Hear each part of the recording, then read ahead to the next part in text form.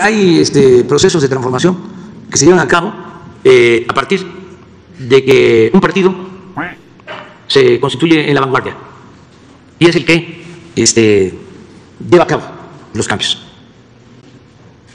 Hay muchos ejemplos sobre eso. Y hay otros movimientos que los hacen los ciudadanos, sin los partidos, sin que el partido sea la vanguardia. Yo creo que la transformación de México tiene que ver con los ciudadanos. No hay ningún partido eh, que pueda solo en México llevar a cabo una transformación. La están haciendo los ciudadanos.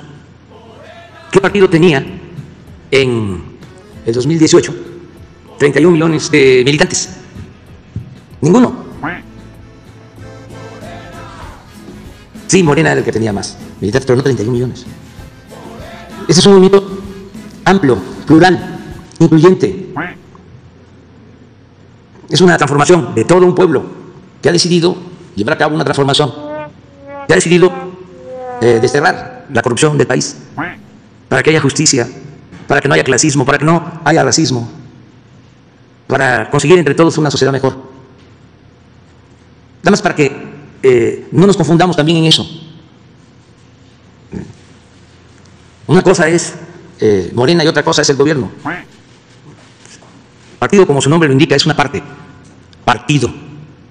Gobierno es todo. Tenemos que representar a todo el pueblo. Por eso tampoco puedo este, estar hablando tanto de estos temas. Y además porque pues, lo que quisieran mis adversarios, que son muy obvios, es de que yo me este, inmiscuyera en estos asuntos. Y no me corresponde, además ya tengo algunos otros asuntos que atender.